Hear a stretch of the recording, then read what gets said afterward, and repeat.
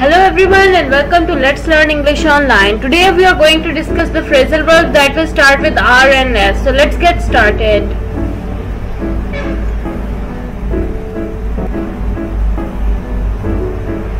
Our phrasal verb is rack up. Rack up means to recall unpleasant memories or events. Let's discuss its use in sentence construction here.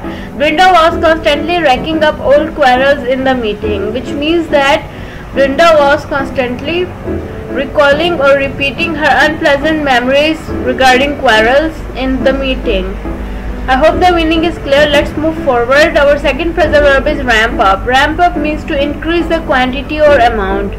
Let's observe its use in sentence construction. Here the company ramped up production to meet the demands of next year, which means that the company increased the quantity or amount of their production so that they might meet the demands of next year.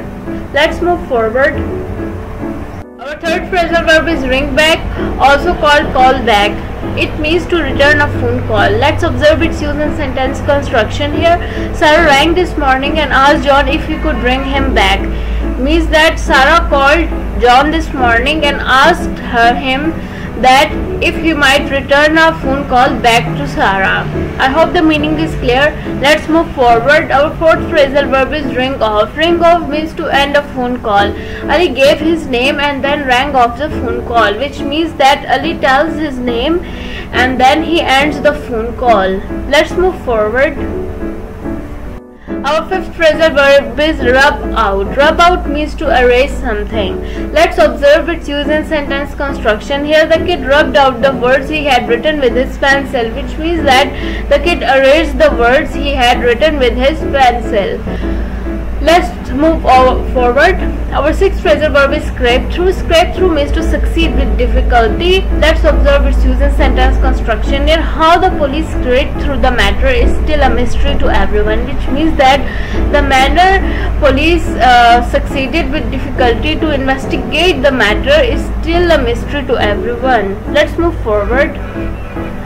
Our seventh phrasal verb is set off. Set off means to start a journey. Let's observe its use in sentence construction. Here early Saturday morning we will set off for the vacation.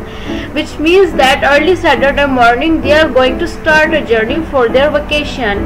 Our eighth phrasal verb is set up. Set up means to start a business. Let's observe its use in sentence construction here.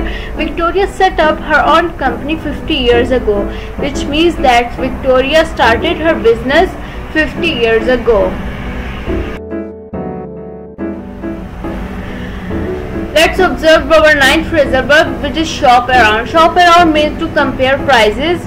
Let's observe its use in sentence construction. Here the old lady never forgets to shop around before buying anything which means that the old lady Never forgets to compare the prices before buying anything. Our 10th phrasal verb is show off. Show off means to brag or want to be admired. Let's observe its use in sentence construction. Here Ronald was showing off his new sports car by driving fastly on Main Street, which means that Ronald was bragging or wanted to be admired on his new sports car through fast driving on Main Street.